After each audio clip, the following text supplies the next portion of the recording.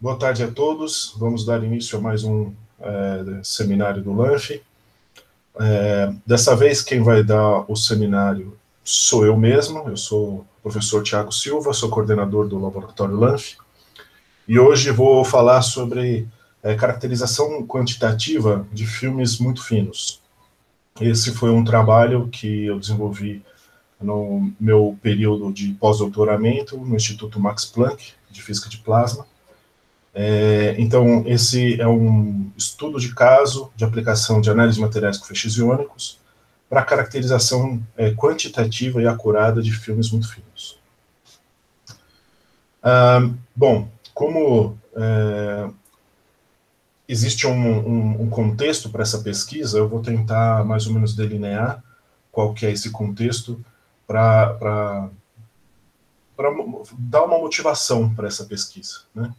Vocês devem saber que existe uma, um, um, empreendimento científico bastante grande envolvendo diversos países no mundo atrás de uma forma de, produzir, de produção de energia elétrica é, pela fusão nuclear. Né? O que se busca é um método é, uh, limpo, né, sem produção de emissão de CO2, de se produzir energia é, elétrica pela fusão de elementos leves. E esse é, uma, é um empreendimento é, muito grande e que ele se dá de uma forma que eu considero bastante inteligente, que é construindo reatores de fusão cada vez maiores. Né? Então, é como se o, o, o conhecimento fosse se acumulando de forma a se produzir uma máquina cada vez mais avançada e cada vez maior. Então, aqui nessa figura eu mostro o ASDEX Upgrade, que é a máquina que tem é, instalada no Instituto Max Planck em Garching. É, no meio eu mostro o JET, que é uma, um outro reator de fusão que é, é, é, instalado no Reino Unido, que é um consórcio entre vários países, né? é um reator de pesquisa bastante produtivo, e Atualmente está em construção o ITER. Essas figuras, elas são mais ou menos colocadas em ordem de, de escala, né? E dá para ver que a, o tamanho da máquina vai aumentando. Uh, basicamente, o, o, próximo, a próxima aposta é o que se chama de, eh, de reator de demonstração. Né? É um, vai ser construído depois do ITER, depois dos estudos do ITER, vai ser construída uma nova máquina ainda maior, que vai servir como uma demonstração de uma usina para produção de energia e alimentação do, da, da, necessidade energética né, de uma determinada região. Né? Então, existe é, um desafio que é tornar esse equipamento, que até agora ele é feito de um ponto de vista científico, né? Onde, do ponto de vista científico, você consegue justificar um, um, um investimento grande em dinheiro, né, em recursos humanos, é, existe um, um, grande desafio em tornar isso economicamente viável. E existem várias questões que devem ser resolvidas para que isso aconteça. É, uma delas diz respeito aos materiais das, é, que compõem a região interna do reator. Então, o que você está vendo aqui são essas três máquinas são do tipo tokamak. Elas produzem o plasma nessa nesse toroide aqui, nessa câmara de vácuo. Uh, é, e o que acontece é que os materiais que compõem essa câmara eles têm que ser bastante especiais. Né? Então, o ASDEX é uma máquina é, que é chamada de full tungsten, porque a, a, as paredes internas dela é, são, são todas revestidas de tungstênio. É, no seu projeto original, eles, ela era produzida de carbono, e, e existe uma pesquisa intensa é, na, na, na, no teste de diversos materiais para compor essa, essa parede interna. O que se sabe é, o que se, se, se já está é, solidificado isso, é que os danos que causa, são causados pelo plasma geram a necessidade de que esse material seja reposto né, de tempos em tempos. Né. Ah, essa pesquisa é bastante ativa justamente porque cada região do, do, do tokamak tem uma necessidade especial com relação ao material. Algumas regiões têm uma necessidade grande eh, de, de aguentar uma grande é, carga, é uma, tem que conseguir dissipar uma grande potência de carga é, de, de energia. outras têm que suportar um grande aquecimento, elas têm que ser robusta com relação à retenção do, do combustível nuclear a, a radiação produz é, vacâncias dentro do material que servem de, de, de traps, de, de armadilhas para aprisionar o material combustível. É, também tem uma série de estudos a respeito da radiation hardness, né, a, a, resistência à radiação desses materiais, etc. Né. Então, também existe uma certa preocupação com relação à ativação desse material. Né. Então, pelo fato de estar num ambiente é, bastante é, é, com, com, uma grande taxa de radiação sendo produzida ali, né, também são produzidos nêutrons, etc. O, o, material que compõe essa, essa câmara ele pode ficar ativado. Né? Então, se procura é, materiais que apresentem essas características com relação à dissipação de calor, retenção de, de, de material combustível e, e e resistência à radiação, mas que também tenham essa característica de não serem facilmente ativadas no processo radiativo. Então, aqui eu mostro em diferentes cores é, componentes diferentes da, da, da, das paredes internas do jet. É, em verde, é, é esses materiais são berílio, em, em roxo, é, carbono coberto com tungstênio, em vermelho é tungstênio puro, é, em azul é incomel, é um, é um tipo de aço, né? e em lilás é incomel é, recoberto com tungstênio. Né? O tungstênio é um material de preferência nesses é, reatores, justamente porque ele aguenta uma grande carga de energia, ele dissipa calor razoavelmente rápido, mas ele também tem, o que é mais interessante, a característica de reter menos o material combustível. Né? É, então, como eu disse a respeito da necessidade de procurar materiais que tenham baixa ativação, né, existe é, no mercado o que se chama de ligas de baixa ativação. E uma delas é a, essa chamada Eurofer 97. Essa é uma liga, é um aço é, composto por é, ferro, cromo, é, manganês, vanádio, tântalo, tungstênio, e são elementos que não são ativados é, por nêutron. Né? Então, o que acontece é que na substituição desses materiais, de, depois de um tempo, se o, o, aço fica ativado, você tem que guardar ele durante um tempo até que é, seja seguro você dar outra destinação para esse material. E no caso de é, ligas de baixa ativação, esse tempo é bastante reduzido. Então, existem pesquisas é, intensas a respeito da adequação do Eurofer é, para utilização é, dentro da câmara de vácuo dos reatores de fusão. Né? Existe uma, existe uma série de requisitos que esses materiais têm que atender.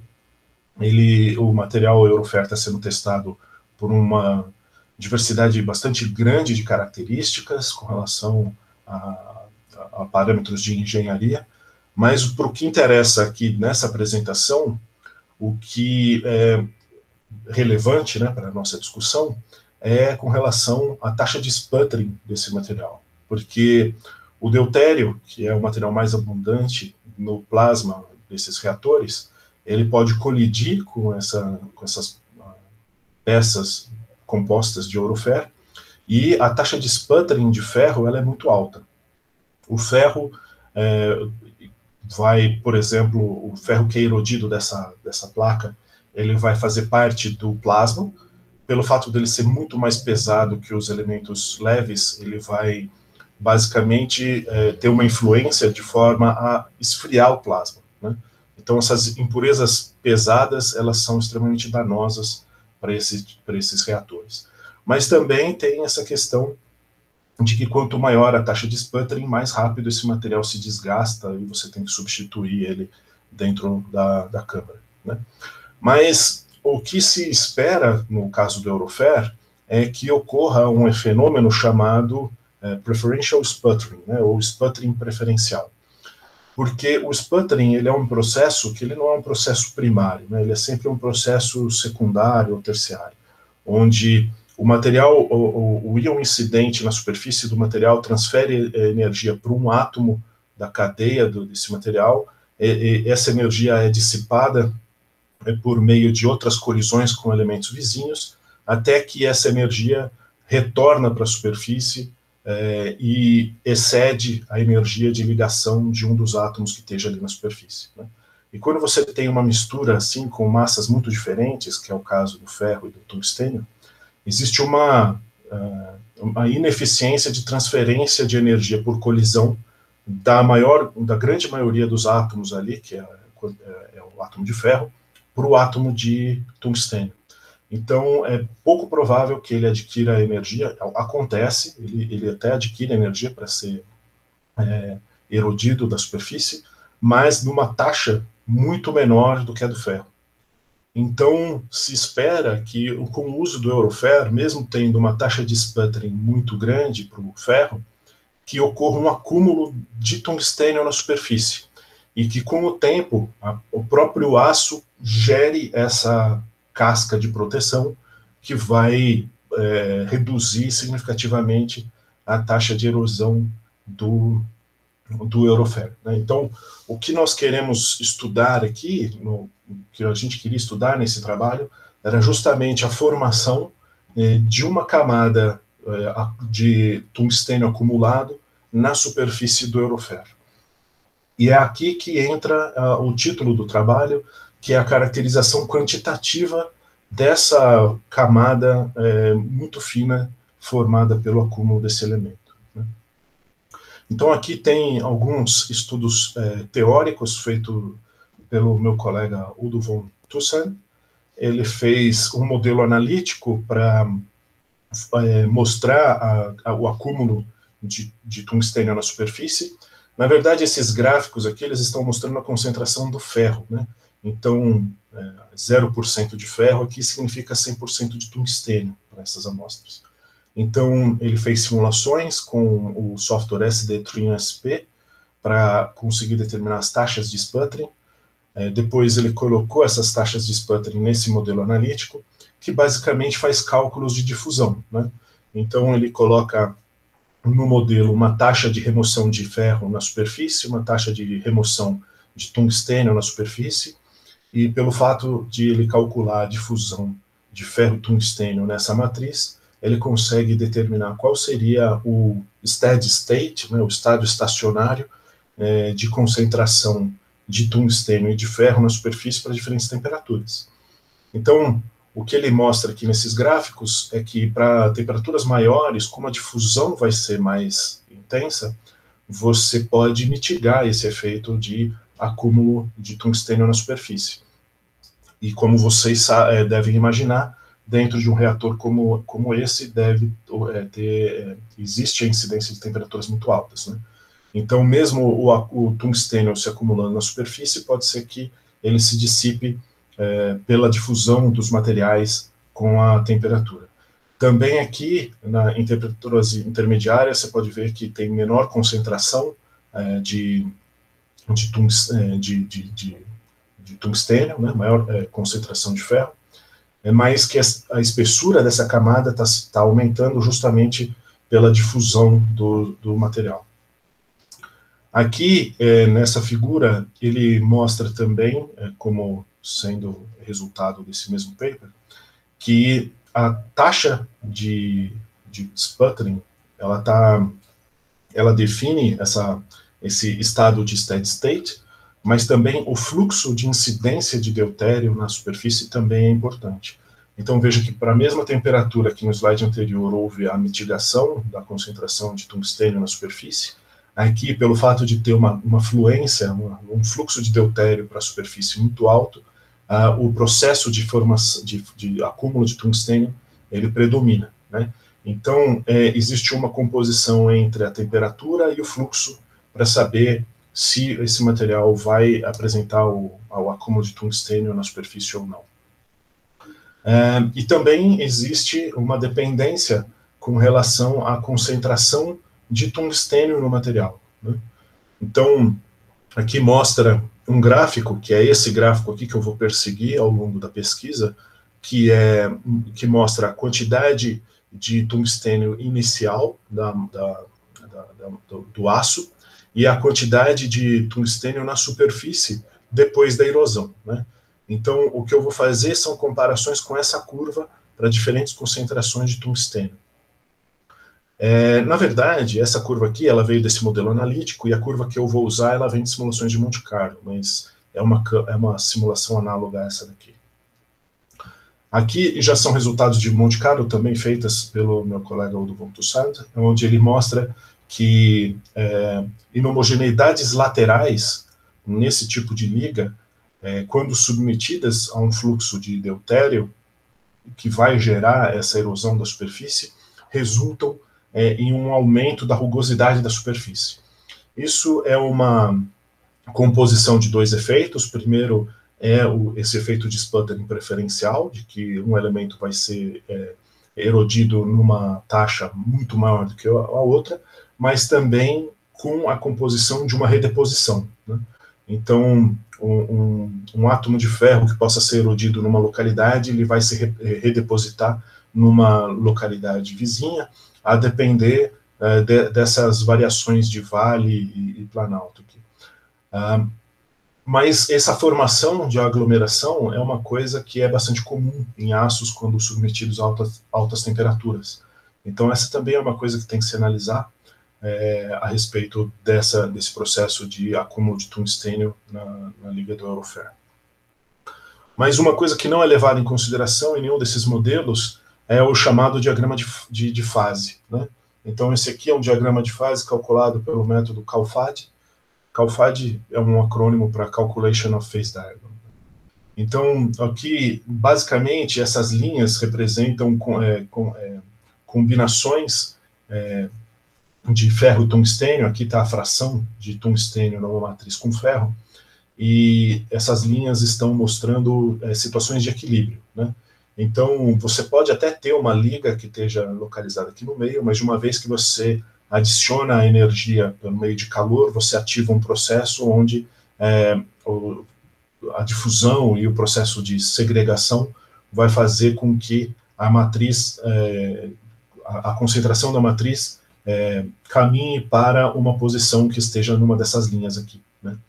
Então, é, esse é um efeito que vai aparecer na, na, nas análises que, que, eu fiz, porque eu estou variando a concentração de tungstênio na, nas amostras, mas, uh, enfim, são, são coisas que não são levadas em consideração nesses modelos. Esse é um processo que é mais ou menos esperado nessa, uh, nessa, nos aços, a questão uh, só é qual é a temperatura de ignição desse processo. Né? Então, é, é, isso que eu vou discutir um pouco mais para frente. Mas quais seriam as técnicas de caracterização que seriam adequadas para fazer essas análises? Né? Para uh, é, se analisar filmes tão finos, existem algumas técnicas que são consagradas, como, por exemplo, o SIMS, o XPS, né? é, que podem fazer caracterização com essa resolução em profundidade. No entanto, essas técnicas elas não pro, produzem ah, os resultados com a acurácia é, que se deseja para esse tipo de estudo. Os reatores de fusão eles são sempre construídos em cima de um grande trabalho de engenharia, é, de simulação. Então, o que se espera é um resultado acurado, com estimativas de barra de incerteza, para que isso seja incluído nos modelos de simulação para o projeto do Demonstration Power Plant. E aí, aqui eu mostro algumas técnicas de caracterização de materiais, relacionando o seu é, limite inferior de detecção com a sua resolução em profundidade. E nessa, nesse gráfico a gente vê que o SIMS e o XPS eles têm um excelente é, limite inferior de, de, detecção, e uma excelente resolução em profundidade. Mas as técnicas de feixes iônicos, elas têm a vantagem de poder produzir resultados absolutos, sem necessidade de calibração, o que isso torna essa, essas técnicas bastante competitivas e interessantes quando comparados a XPS e SIMS. Né? Então, o que se deseja é pegar é, essa região aqui do RBS e se estender para essa região do SIMS. É isso que é, é, o, é, o, é o tema da pesquisa que eu fui contratado para fazer no Instituto Max Planck. É conseguir estender a, a resolução em profundidade do RBS a ponto que a gente consiga ter valores quantitativos a respeito desse processo de acúmulo de tungstênio. Bom, existem, existiram, foram publicados alguns trabalhos nessa linha de tentativa de caracterizar esse, esse efeito. O primeiro deles foi feito no próprio Instituto Max Planck, utilizando o RBS convencional, só que para um ângulo de incidência de 75 graus. O que se queria aqui era tentar explorar o limite da resolução do RBS com um feixe de hélios de 1 MeV, mas o que se obteve foi uma resolução em profundidade de 30 nanômetros, que é gigantesco, perto, perto do que se precisa para avaliar essa, essa, esse acúmulo de tungstênio na superfície. Mas como ele tem uma a técnica RBS tem um, uma, um limite de quantificação muito é, é, muito bom, você consegue ver variações de concentração na superfície. Né? Então esse artigo justamente reporta que esse efeito acontece, mas ele não consegue é, dizer qual é de fato a concentração do tungstênio lá na primeira camada. Né?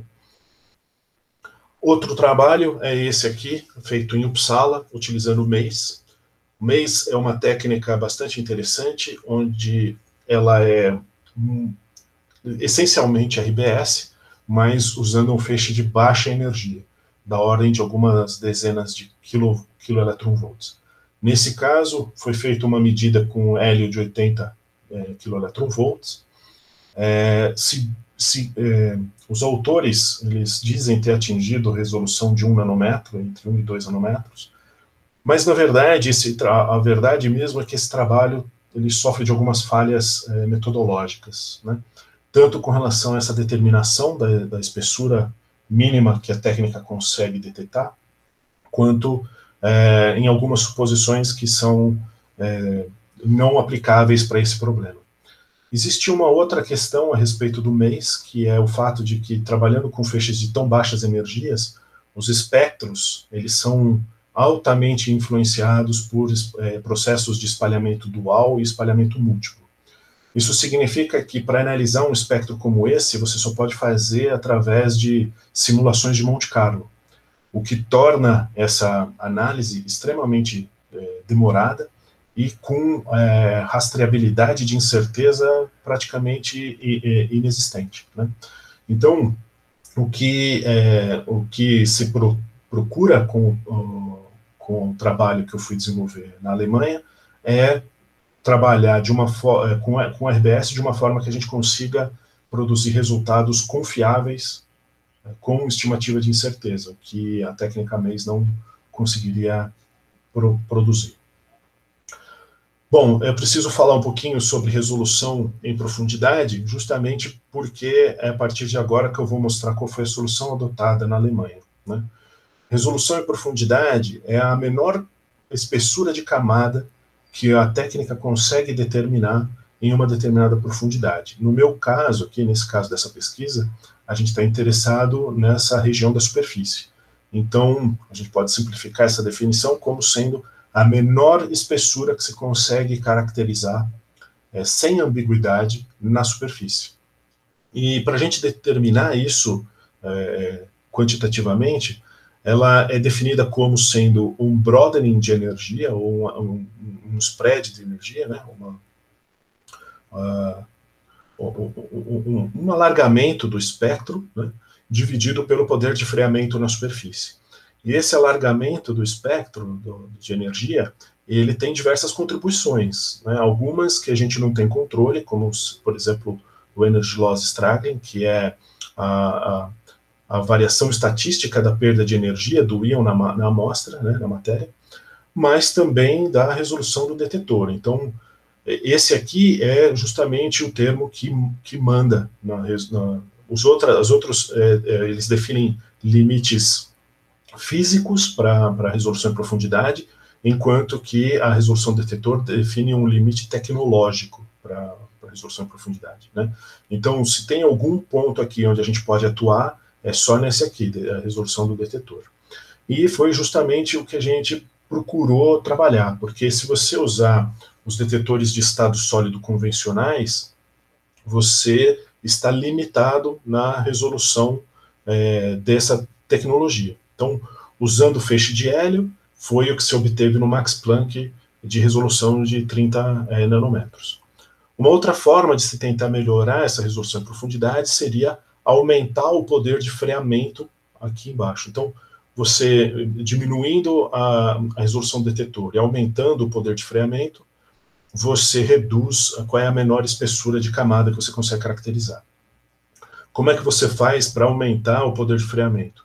Você troca a sonda, né? Em vez de usar hélio, nós vamos usar é, feixes mais pesados. Né? Aí você tem um é, poder de freamento maior e sobra agora resolver o problema da resolução do detetor. Aqui você vê que se você vai para íons mais pesados, a resolução do detetor piora. Esse gráfico é um gráfico ilustrativo, ele é um pouco antigo já, é, a tecnologia de estado sólido para detetores melhorou bastante, mas é, não a ponto de resolver esse problema. O que precisa é trocar a tecnologia de detecção desses íons para que se consiga melhorar essa resolução e assim baixar é, essa resolução em energia e assim baixar a resolução em profundidade. Então, a, a, o que se é, propõe é usar um, é, um telescópio, né, um, um espectrômetro de tempo de voo. Então, nesse caso, eu faço uma comparação da resolução em profundidade para diferentes energias de feixe e para tecnologia é, de, de detetores semicondutores e para tecnologia de medida de tempo de voo. Então, Usando detetores de, eh, de silício, se consegue hoje basicamente algo em torno de 15 keVs de energia, o que resulta em 11 nanômetros de, de resolução numa amostra que teria 10% de tungstênio. Quando você troca essa tecnologia para medida de tempo de voo, você reduz esse valor para 3 nanômetros, o que já é uh, mais uh, adequado, mas não suficiente para fazer esse tipo de estudo. Mas veja que isso é dependente da energia, né? Tem regiões onde o tempo de voo perde né, da resolução dos detetores semicondutores. Se você vai para sondas usando íons pesados, como o silício 28, você tem resolução e profundidade na superfície de 1.2 nanômetros. E se você vai para feixes mais pesados ainda, como o bromo, você vai para 0,6 nanômetros. Então, aqui a resolução seria subnanométrica. Então, o que se pretende é fazer esse estudo é, da, do acúmulo de tungstênio usando feixes pesados e um, é, é, um, um detetor de tempo de voo para caracterização dos íons. Como é que funciona essa medida? Basicamente, o feixe produzido pelo acelerador incide na amostra, os íons que são retroespalhados são dirigidos esse para esse dispositivo aqui que é um telescópio, né? Então o íon passa por uma fina camada, uma fina folha de, de carbono, produz elétrons secundários que são dirigidos por um espelho eletrostático e refletidos em direção a um multi-channel plate. Multi-channel plate é um tipo de detetor que amplifica o número de, de elétrons. Né? Então, se um elétron entra, entra em um desses buraquinhos, alguma coisa do tipo 100 ou 1000 saem do outro lado. Né? Então, isso aqui funciona como um amplificador. O íon, depois de ter produzido esse, essa quantidade de elétrons secundários, ele continua na sua trajetória até atingir um outro detetor, nesse caso aqui, ele tem uma placa de cobre que produz também uma quantidade de elétrons secundários, que é dirigido no espelho eletrostático e vai para outro MCP, né, o multi-channel plate. Basicamente, o que nós queremos saber é qual é a diferença de tempo entre esses dois sinais, sabendo que a distância entre esses dois detetores é um, um determinado comprimento. Esse aqui foi o comprimento que eu caracterizei para o telescópio do Instituto Max Planck, mas é, isso aqui ele, ele, ele, importa, mas não para essa explicação desse momento aqui. Então, basicamente, existem vários efeitos aqui é, que a gente tem que considerar na hora de calcular as eficiências desse detetor, mas uma coisa que eu chamo a atenção é que esse desenho aqui, ele justamente mostra o, esse detetor, esse, esse, segundo detetor, maior do que esse primeiro detetor aqui. Justamente porque os íons que passam por essa folha, eles, sofrem um desvio angular, né, um, um, uma variação angular depois de passar por essa folha de carbono, e esse detetor aqui ele é maior justamente para comportar é, uma variação angular dessa trajetória. Eu desenhei aqui um íon passando reto, né, é, é, o que acontece com a maior parte deles, mas alguns é, sofrem uma pequena deflexão e é por isso que esse detetor aqui é maior, para aumentar a aceitação do, detetor, do, do, do telescópio como um todo. Então, só alguns detalhes a respeito desse, desse detetor de tempo, né, digamos assim.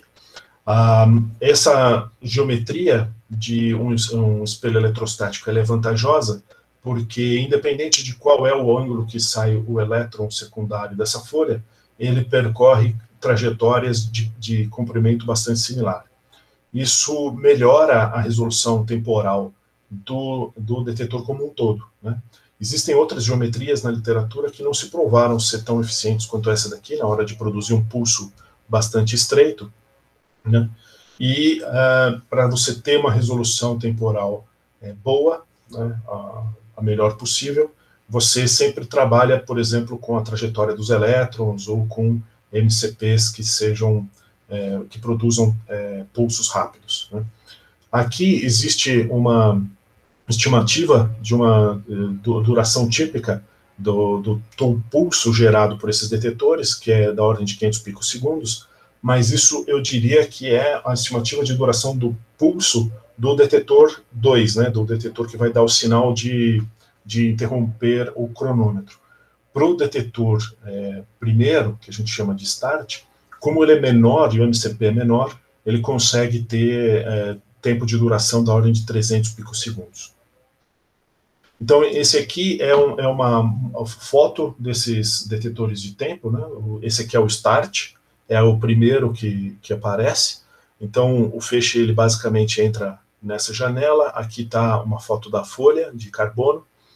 É, e, e depois se dirige para essa abertura do stop, e aqui está a placa de cobre onde ele vai produzir os elétrons secundários. Aqui tem uma foto da superfície do multi-channel plate do stop, e aqui tem uma foto de baixo do multi-channel plate do start. Né? Então, basicamente são esses dois detetores aqui que vão me dar a marcação de tempo. Esse detetor ele está instalado no, no tandem de 3 megavolts da divisão E2M do, do Instituto Max Planck.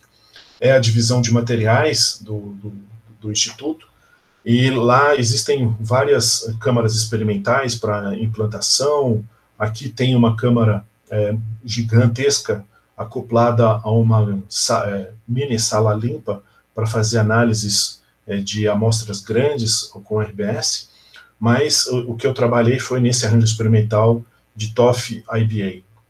Né? Então é uma, um arranjo experimental dedicado a fazer análise de feixes iônicos com é, tempo de voo. Aqui mostra dois é, telescópios para fazer herda, porque o que se queria fazer era uma medida em coincidência para fazer perfis de hidrogênio e deutério em lamelas de tungstênio.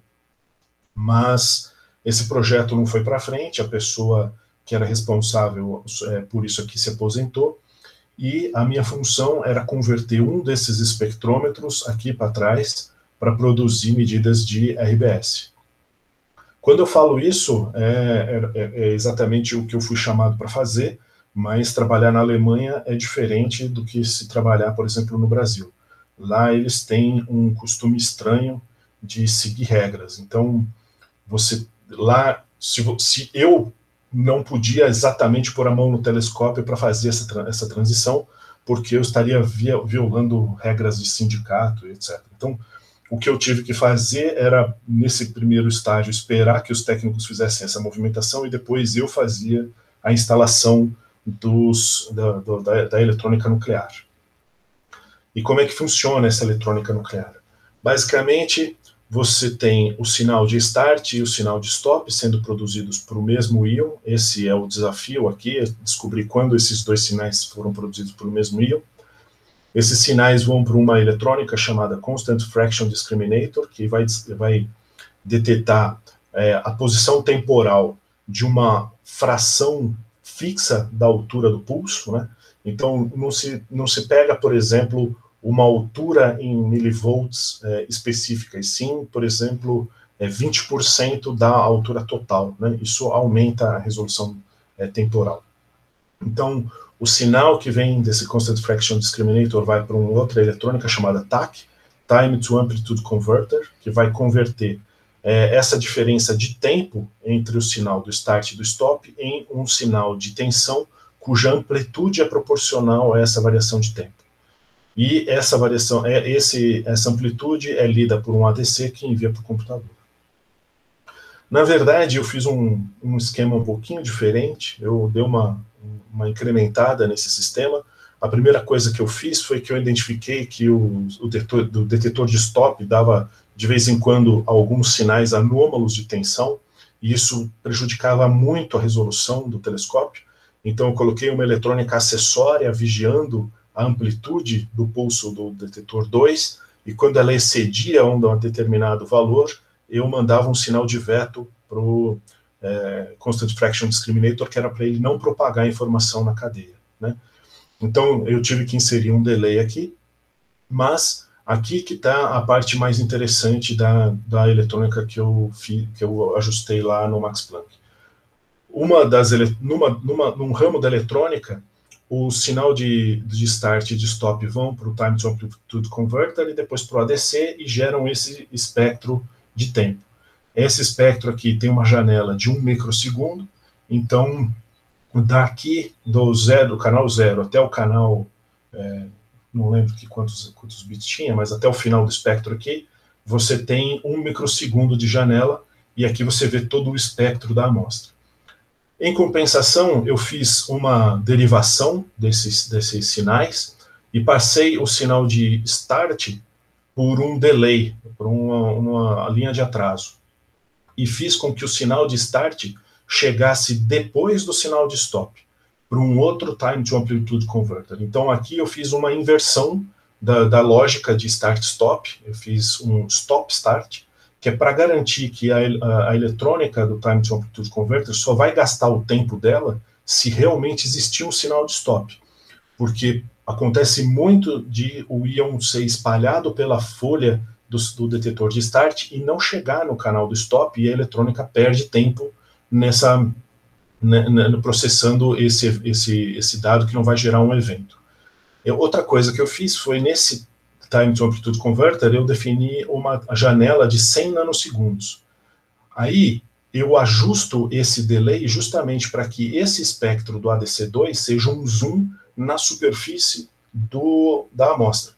Então, aqui eu tenho, no, no ADC1, eu tenho informação geral da amostra, que para mim é importante, é, principalmente por causa da, dos ajustes de carga, uma vez que o, as medidas de carga lá não eram é, tão confiáveis e também tenho um, um, um zoom bastante grande da superfície. Né?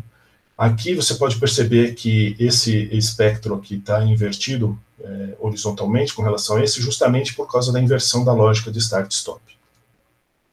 Outra coisa é que esse tipo de detetor ele tem uma, é, uma eficiência que é diferente da eficiência dos detetores de barreira de superfície.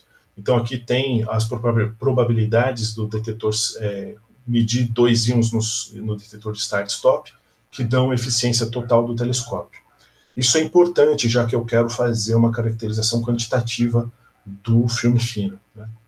Aqui mostra algumas é, eficiências para diferentes íons. É, basicamente, o que a gente observa é que o telescópio não é adequado para fazer medidas com hidrogênio, por exemplo, porque já a 1 MeV, a, a eficiência dele já está caindo e ela cai rapidamente, justamente porque a eficiência depende do poder de freamento do íon na folha de carbono do start. Mas quando você vai para feixes é, pesados, como o bromo, que eu tinha mencionado anteriormente, você tem uma contribuição do espalhamento múltiplo na folha de carbono muito intensa na eficiência. Então, ela domina a eficiência do detetor e faz com que ela só seja adequada para coisas do, coisas do tipo 10 MeVs é, de, de, de, energia de feixe. Né? O que não é exatamente o que a gente gostaria, porque para mais altas energias a gente está indo para stopping power mais baixo. Então aqui tem alguns ajustes mostrando a eficiência para diferentes íons, para esse modelo de eficiência que eu, que eu produzi, justamente para tentar mostrar para vocês é, que eu usei diferentes íons até o cobre, justamente para conseguir produzir esse mapa de eficiência do telescópio. Então aqui tem o número atômico da sonda e aqui tem a energia, mostrando que tem um, uma curva, que seria aqui perto desse, dessa cursian, que tem 50% de eficiência. Para essa região azul, a eficiência é muito baixa, então eu tenho que me manter nessa região vermelha aqui. Outra coisa importante é a resolução do detetor.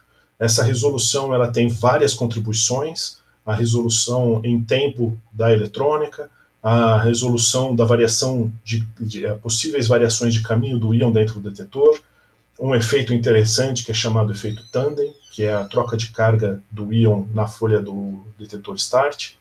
Tem a perda de energia, a variação da perda de energia na folha do start e também a rugosidade da folha do detetor start.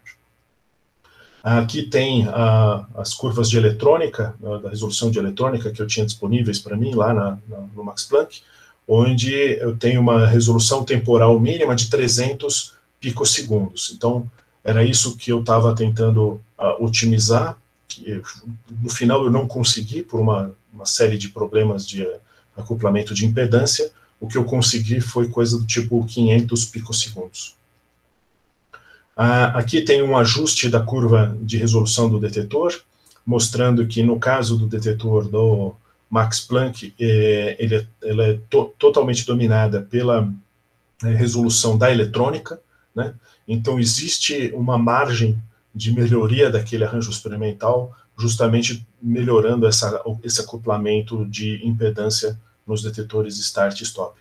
Isso é uma tarefa que não é, não é totalmente trivial, porque a, a, a impedância, nesse caso, não é só a impedância do, do MCP, mas é uma impedância da, da câmara de vácuo como um todo. Né? Precisa que alguém se dedique a resolver esse problema, e eu não tive tempo hábil para poder fazer isso.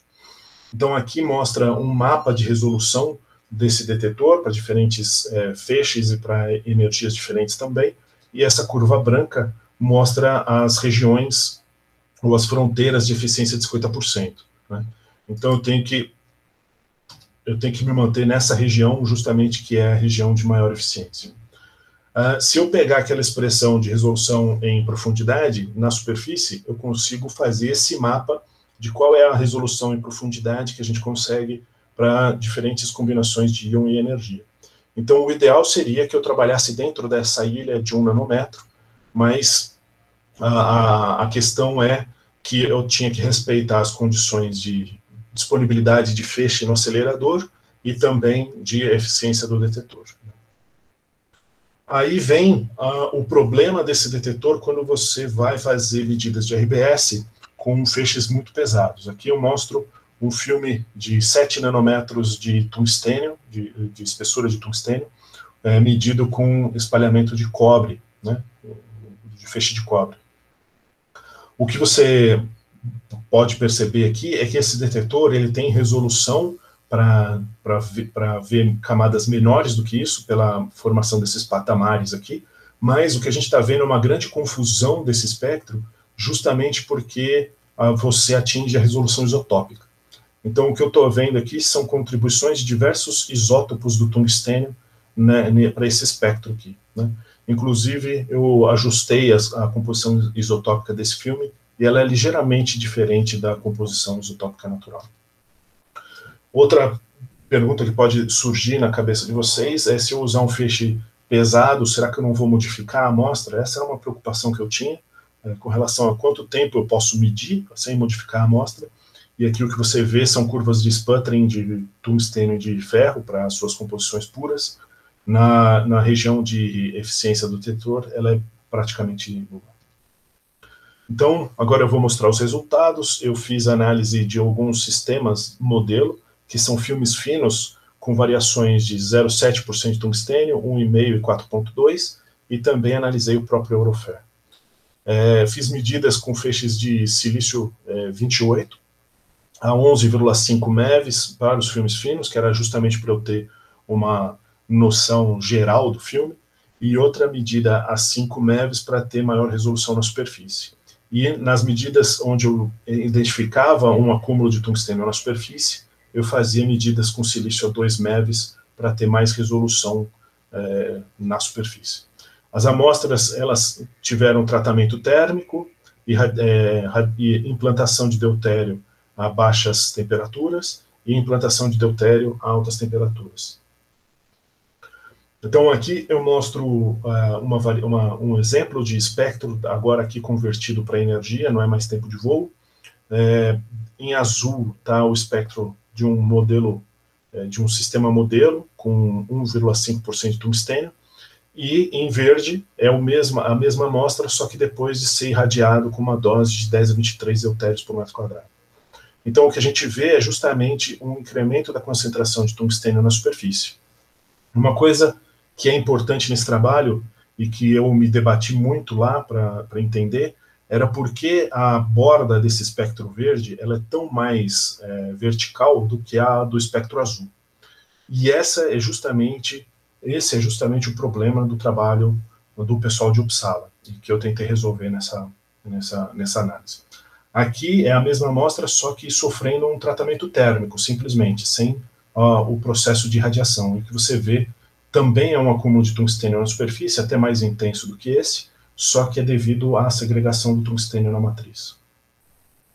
Uh, aqui é basicamente a mesma comparação, só que em verde uh, você vê o, o filme irradiado em alta temperatura, o que apresenta um, um comportamento totalmente diferente da, das amostras irradiadas a baixa temperatura e da só que re, recebeu só o tratamento térmico.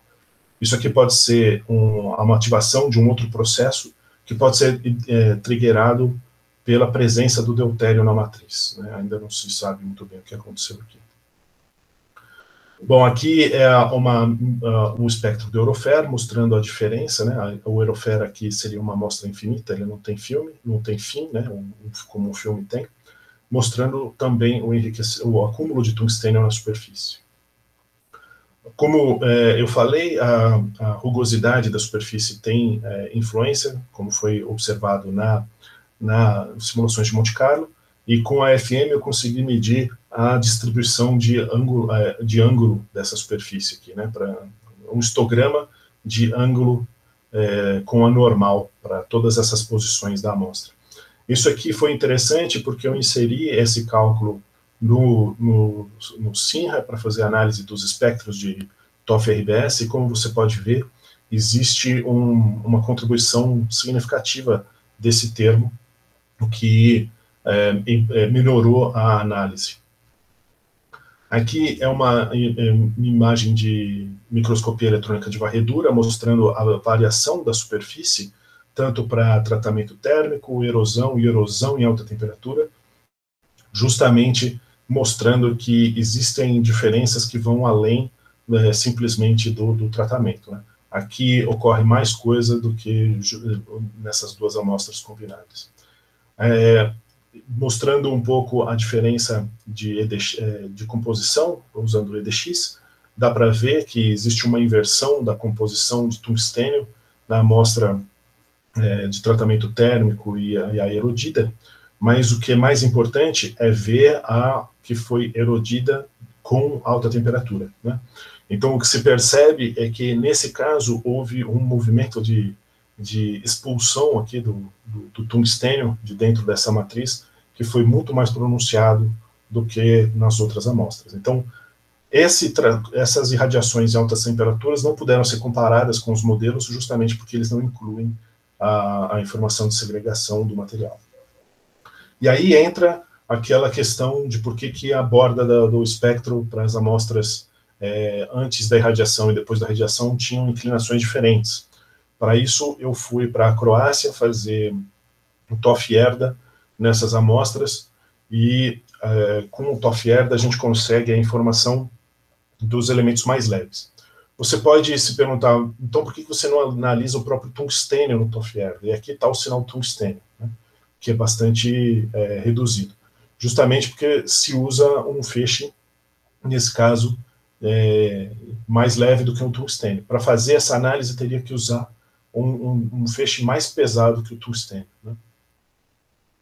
Então, aqui tem ó, os espectros de TOF-RBS e de TOF-ERDA.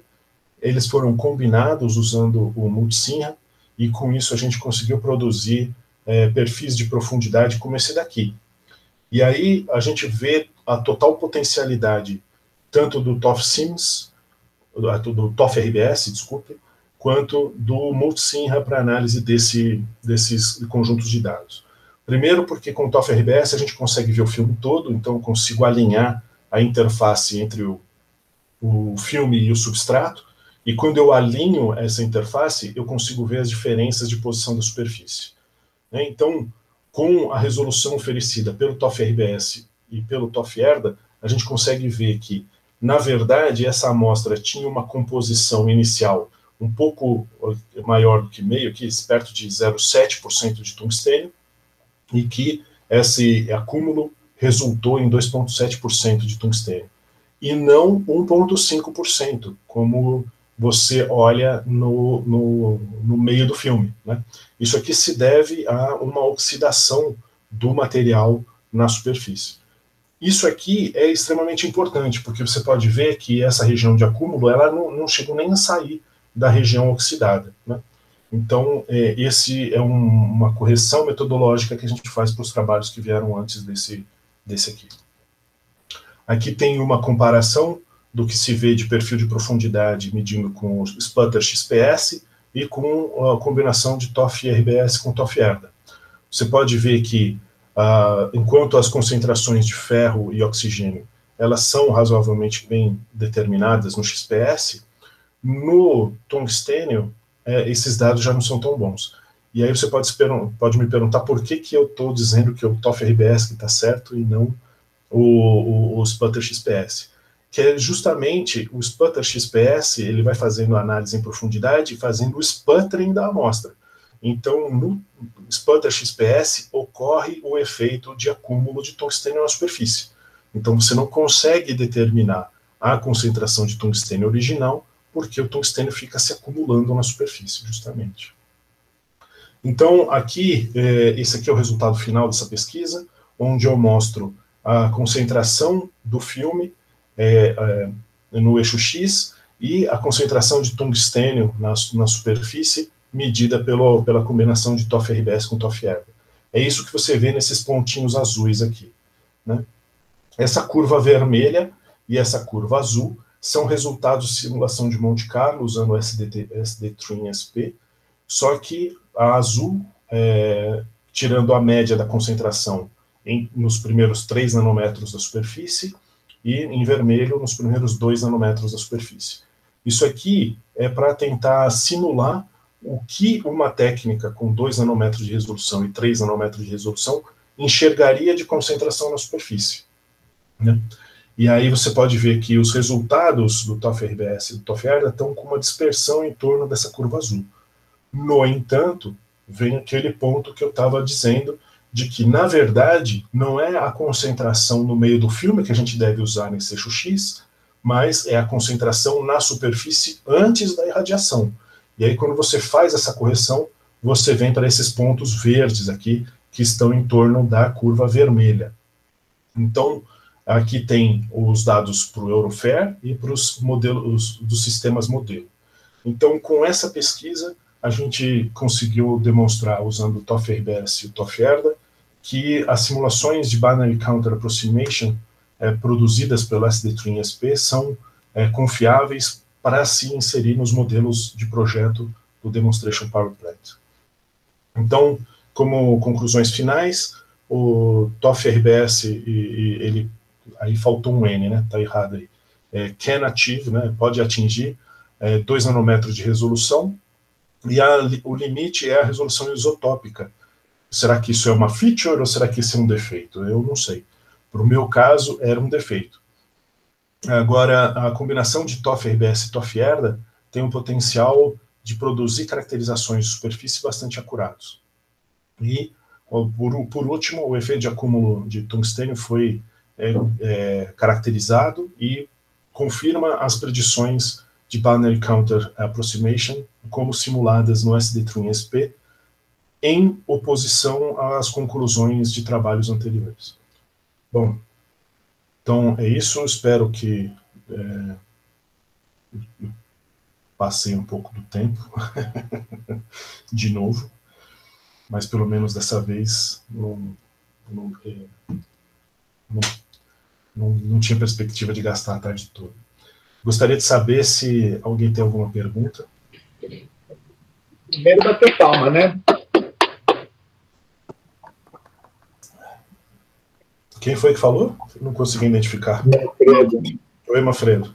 Primeiro bater palma, muito bom o trabalho, interessantíssimo. É, gostou? E praticamente muito denso. Eu não sei se eu consegui acompanhar todos os detalhes de tudo que você falou, porque precisava trabalhar isso numa velocidade de 0,75, 0,5, né? você falou 2,0, então é difícil. É. É, eu, eu, eu diria que o tempo que eu fiquei esperando os técnicos moverem o telescópio, para mim foi útil, porque eu fiquei estudando bastante o telescópio, né? então fiquei fazendo modelos de eficiência e tudo, que foram bastante úteis tanto para o comissionamento do detetor, quanto para a análise dos dados depois, né? Isso é bastante, acho que aumentou a densidade de informação por causa disso. Bom, bom gostei bastante também, Tiago, mas posso fazer umas perguntinhas, né? Claro. Você, quando comentou das resoluções do, do limite, né? Os limitantes nas resoluções de cada parte, você falou em resolução do, em tempo, né? E falou em resolução em tempo só associado a eletrônica, pelo que eu entendi, tá certo? Uhum. Mas você pode ganhar um pouco de, resolu de, digamos, resolução, não, não melhorar a resolução em tempo, mas essa contribuição de resolução em tempo ser diminuída se você aumentar o tempo de voo, não é?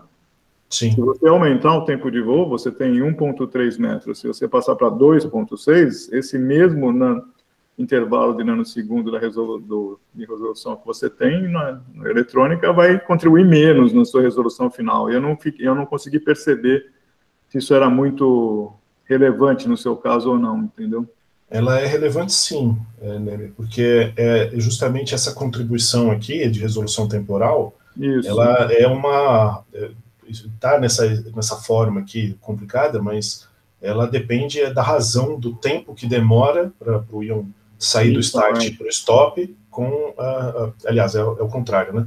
Da resolução temporal da eletrônica com, a, com o tempo que ela demora. É, porque eu fiquei imaginando, você tem um tempo, uma resolução em tempo que é típica do seu sistema, seja eletrônico ou não, mas você pode ter uma contribuição menor no seu resultado final se você aumentar o tempo, a distância, basicamente. Tá Isso, Lógico que tem toda a complicação de você medir com precisão a distância, mas supondo que você consiga medir com precisão de milímetros, que é o que você tinha, se eu bem me lembro, tá certo? Você consegue ganhar, né, nesse termo aí, que eu acho que é o termo principal, né, imagino, na sua, então, contribuição. É sim, é o termo principal. Eu só tenho que chamar atenção para esse fato aqui, que a eficiência do detetor, ele tem a dependência dessa, dessa função f, certo. que basicamente computa quantos íons na abertura cônica do espalhamento da folha do start caem dentro do stop. Então, é isso que eu ia comentar também, né? Você, do jeito que você comentou, não é só o straggling, né? Que você tem, porque você tem o próprio, tá, conforme você vai aumentando a distância, tem o problema do ângulo sólido mesmo, né?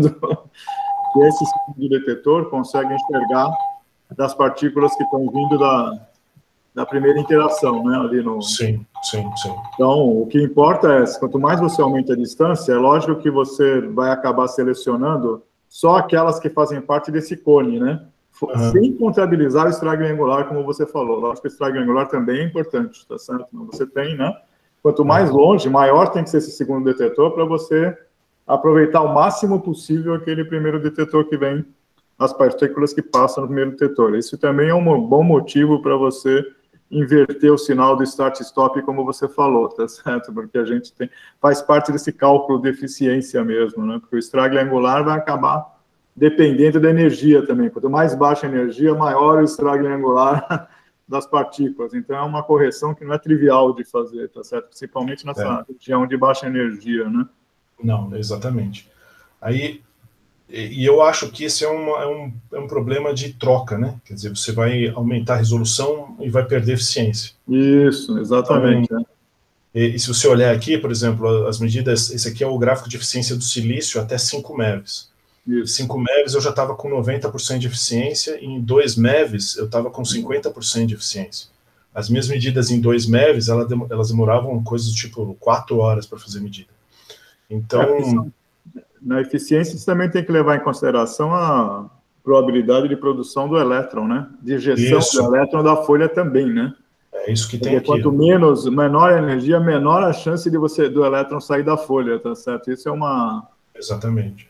Né? Isso é bastante. Por isso que não e... dá para usar energias muito baixas. É difícil, né, de usar energias é. muito baixas. É, é. E é o que eu fiz um programa, na verdade. Esse aqui é uma simplificação do programa que eu fiz para cálculo da eficiência, porque uhum. no programa que eu fiz eu também entro com o nível de threshold da, do, do, dos, dos CFDs. Que é justamente para conseguir é, incluir dentro desse, dessa eficiência a, a, a, o efeito da contagem da variação estatística do pulso dos elétrons, né?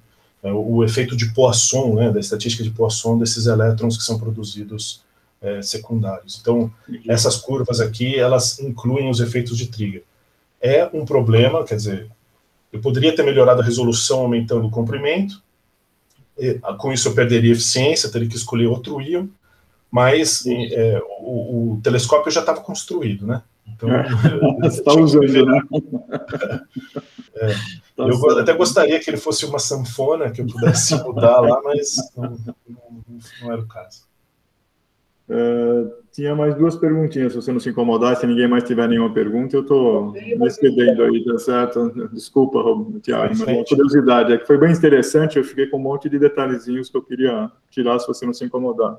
Claro.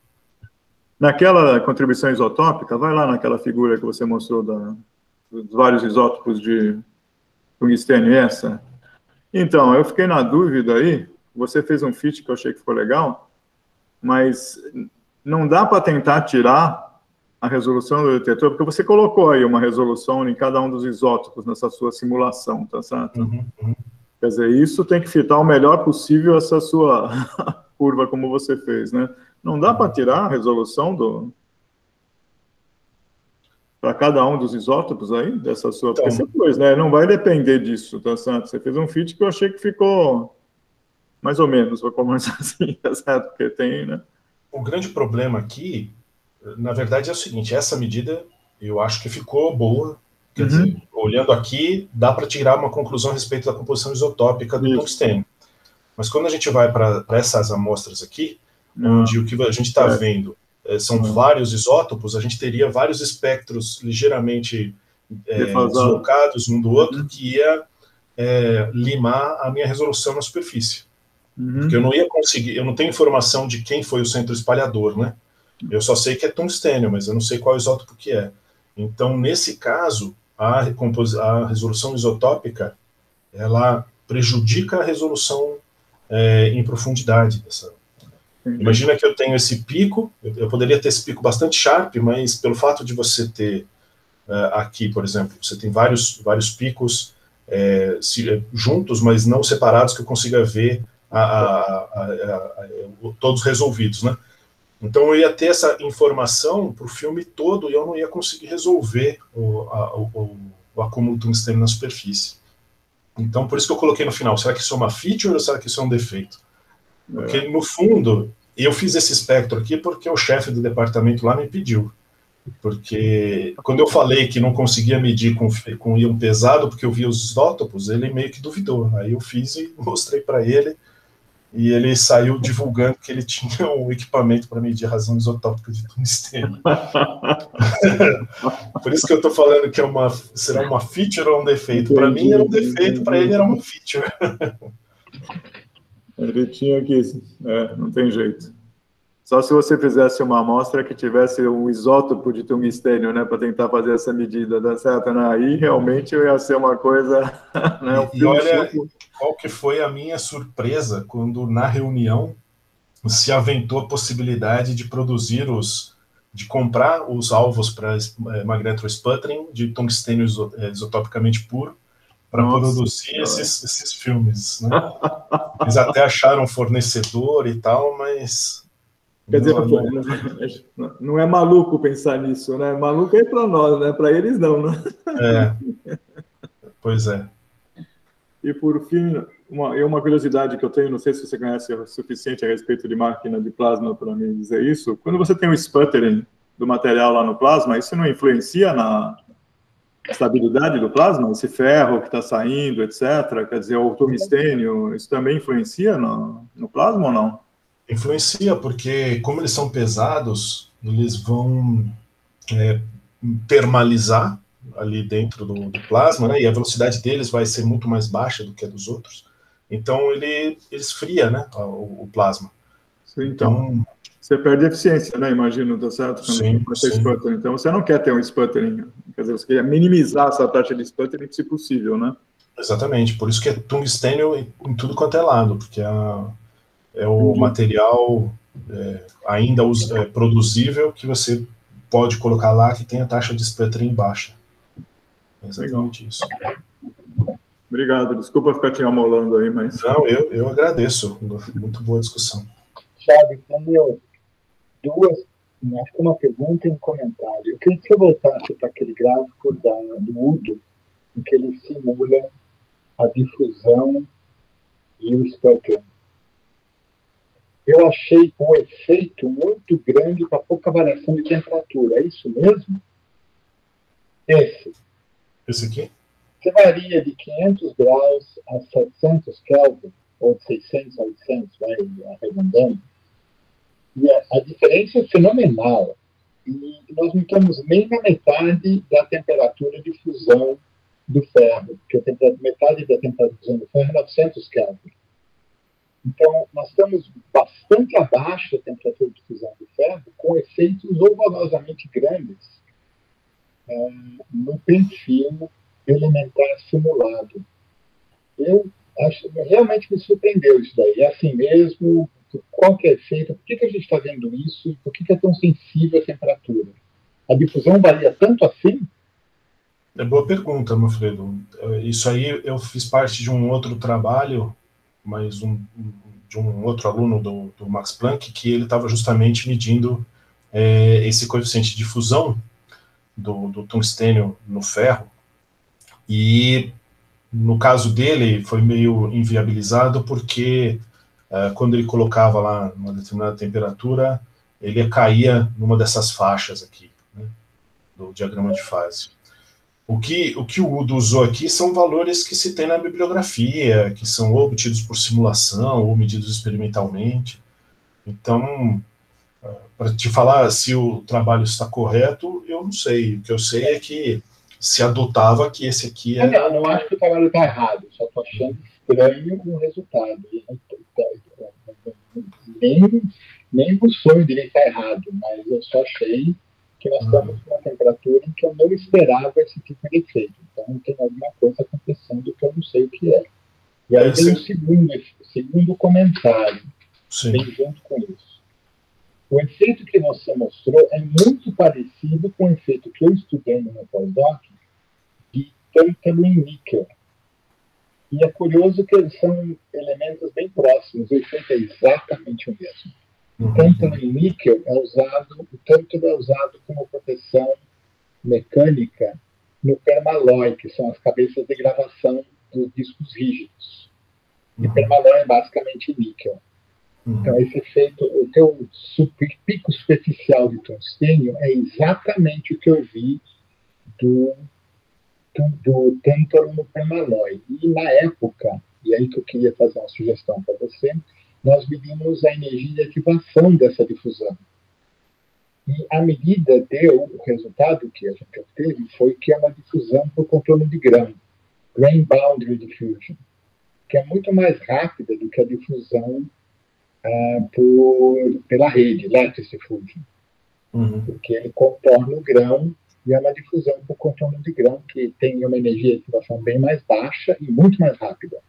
Uhum. E a sensação que eu tive, quando você mostrou o pico de tungstênio, eu falei, ah, isso é oxidação. Por quê? Porque o anilin foi feito em ar, correto? É.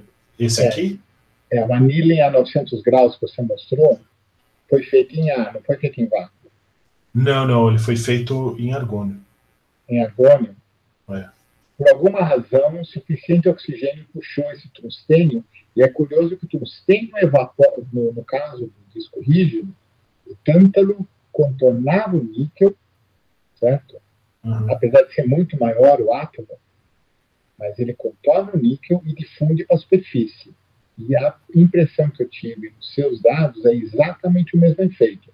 O tungstênio contorna o ferro e vai se depositar na superfície.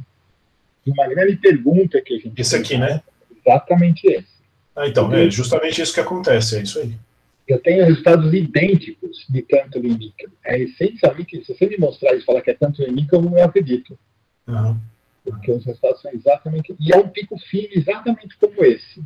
Uhum. Né? E a grande dificuldade que a gente teve era de saber como esse tântalo acumulava na superfície. Se ele fazia uma montanhinha ou se ele fazia um buraquinho, porque no RBS não dá para saber muito bem a, a geometria do, da difusão. Você não sabe se você está acima das superfícies. Depois você mostrou um resultado do Herda muito legal, que mostra a medida da superfície tendo o final do filme como referência.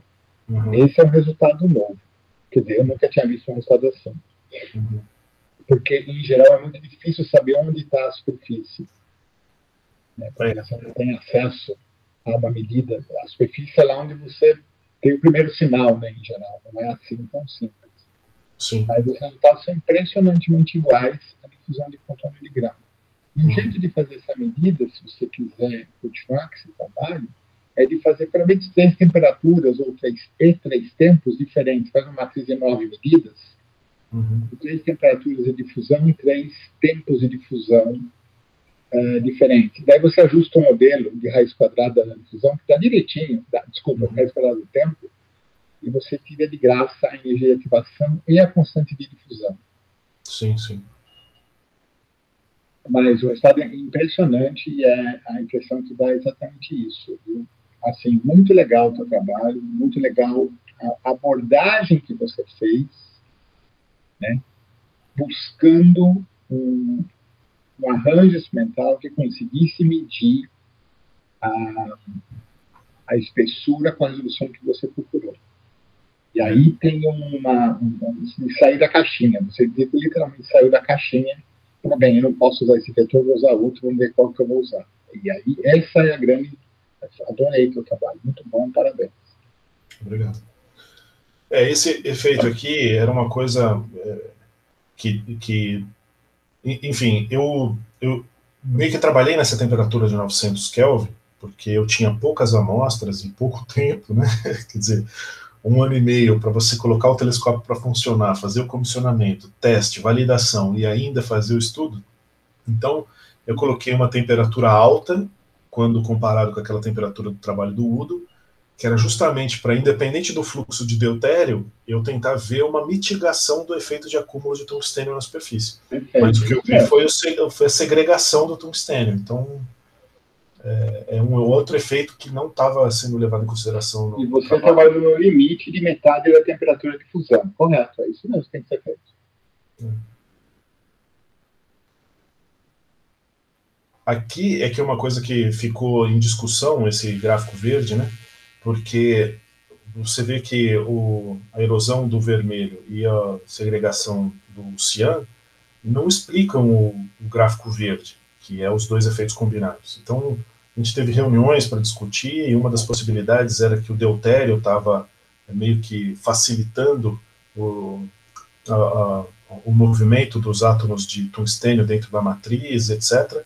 E no final, o que a gente percebeu era que o arranjo experimental, que eram diferentes, né, o de tratamento térmico e o de erosão com temperatura, eles eram diferentes, né? E aí no implantador tinha um offset de temperatura no, no termômetro lá. Então, a gente não sabe se é um efeito do deutério facilitando a movimentação do tungstênio na, na rede, ou se é a ativação do efeito de segregação entre 900 e 970 Kelvin. Olha, olha como o tungstênio acumula em ilhas é. na superfície do ferro, é realmente incrível. E o níquel faz o tântalo faz exatamente a mesma coisa no níquel, uhum. que é o que destrói a cabeça gravadora do seu HD. Entendi.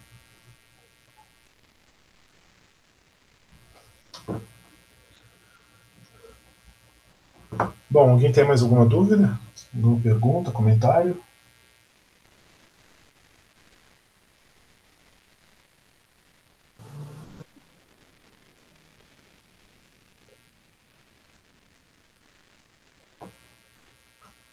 Bom, pessoal, então acho que é isso. Tá bom. Até daqui duas semanas, é isso? É isso aí. Você vai checar com a história da Adriana ali, né? A fase com as. Oi, Adriana. Oi, Adriana, para ver se ela não